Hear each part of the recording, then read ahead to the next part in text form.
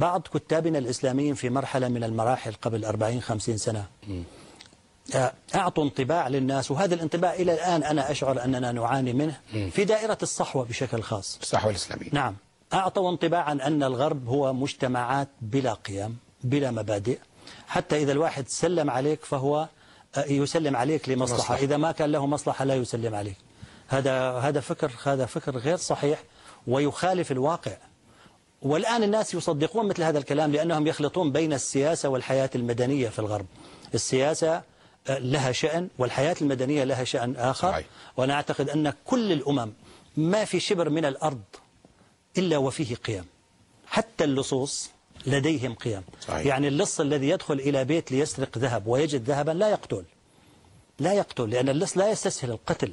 حتى لو كان يشعر لأنه يشعر أنه هو يرتكب جرم هائل لما يقتل. فالقيم ال- ال- ال- ال- القيم موجودة في كل مكان من الأرض لكن طبعا ما في تطابق قيمي بين الناس. في ما في ما في تطابق. قيمي. أي. بس ال- ال- شعوب الأرض تشترك في ك- ما في شك في. هذا. يعني يعني أنا كنت أقول مرة لواحد أعطني جوابا لهذا.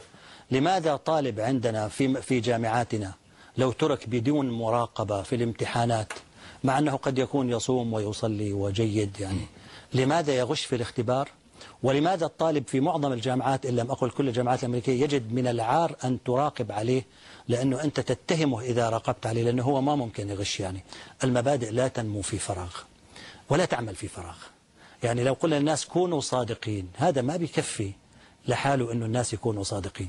بده يكون في شفافية في الحياة السياسية في الحياة الاقتصادية في الحياة الاجتماعية في, في, في الحياة الأسرية في قدر من الحرية.